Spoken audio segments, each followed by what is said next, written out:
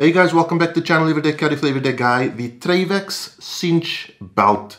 Have the guys at Trayvax found a a niche in the EDC belt market that no one seems to have capitalized on, especially when it comes to comfort. Now, in order to understand why this belt works, we have to understand how and why a gun belt works or what you need a gun belt for. My standard jam when it comes to gun belts is Kore Essentials. Has been for quite a while. I think they make amazing belts. So when Luke over at Woodsman Wares said he wants to hook me up with one of these Trayvax cinch belts. I was like, dude, do you know what I normally run, right? Like, you know I run Kore Essentials. And he was like, give it a shot and let me know. He feels there is application anyway. And I did just that. I've had it for, it's about a few months now. Um, and the belt runs, right? But I think what Trayvax have done is, is found a way to make an EDC belt that you can carry your firearm with that is sort of a departure from the norm. Before we get into the why, let's talk about the what. The Trayvax cinch belt comes with a um, really, really thin, heavy duty buckle. The buckle is a single piece of anodized aerospace grade tempered aluminium. The webbing is heavy duty nylon webbing and that is it. It is as simple as it can come. It even says simple on the box, right? There are no moving parts in the Trayvax cinch belt. The way it works is there's a small um, insert hole. You insert the belt in the one end or the webbing and you insert it through the other end and it cinches and it holds really, really well.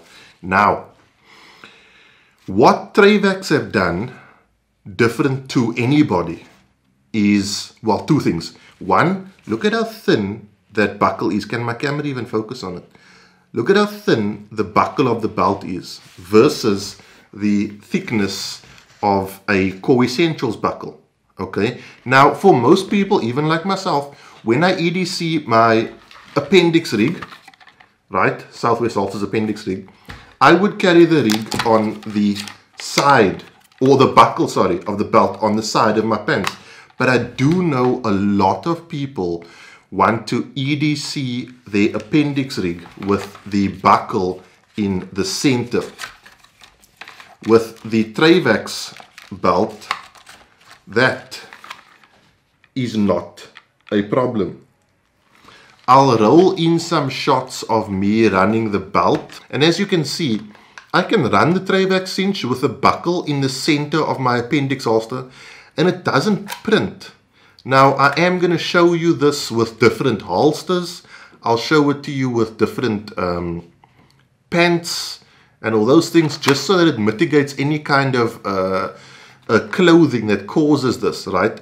But the t-shirt I'm wearing is actually a t-shirt I'm wearing in this video. It's an Urban Warrior general tee The Urban Warrior South African company makes clothing specifically designed for or to cater for your everyday carry. So if you are having an issue with clothing, definitely check them out on my website. But you can maintain a really high standard um, and still conceal really, really well. So where the cinch has differed is that they've gone for an ultra thin, ultra simple buckle. The webbing is not rigid on the horizontal. It's rigid on the vertical and it's not not even that rigid right? I can i can crush this if i wanted to right? This i couldn't crush even if i wanted to this is however rigid on the horizontal okay? So here's why i think you can conceal really well with the cinch and why i think um, they might have found something that other manufacturers have overlooked with the belt not being too rigid, but just rigid enough, it wraps more tightly around your body. If the belt wraps more tightly around your body, it contours more to your body. And if it contours more to your body, it's going to apply the maximum effect on the claw of a holster, especially an appendix holster. Well, mainly appendix holsters, obviously. And because of that, tucks the firearm into your body really, really tightly. Also, it's really thin. And one of the things I thought was, well, this is too thin for my clips. And as I've EDC'd it, look, someone has to do it, right? I know people would say, oh, I'll never EDC a, a belt that is that thin because what if I go to draw and etc. etc. Listen, someone has to do it. Okay, that someone is me. I don't mind doing it. I have to give it a try. Someone has to go first.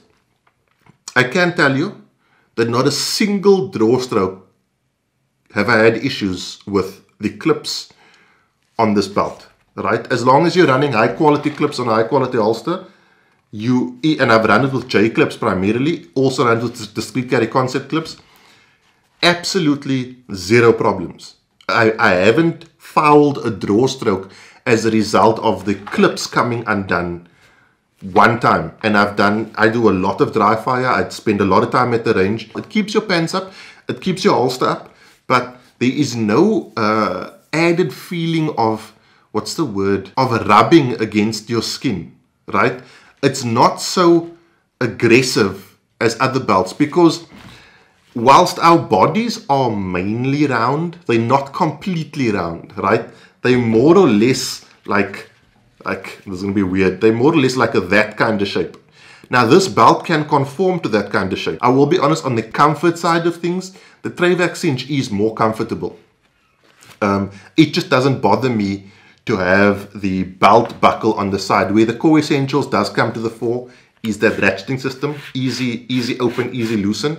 That is really, really convenient for me. But in terms of comfort and the ability to carry your firearm with the buckle in the center, there's no one really that can compete with Trayvax. Now, this does come with Trayvax 65 year heirloom warranty. It is available in South Africa from the guys at Woodsman Wares. I'll leave them linked down below. If you buy it now or on the date of the release of this video, you might still get it on a Black Friday discount. I think it's like 10% off. Um, and from my personal experience, it is a belt you can run with your EDC, with your appendix carry rig. I'm still testing the PL Pro R, PL, what's this thing called again? The Baldr Pro R, oh like there's so many different names. But this is a heavy setup, right? This is a, there's a lot of, there's a lot of firearm here.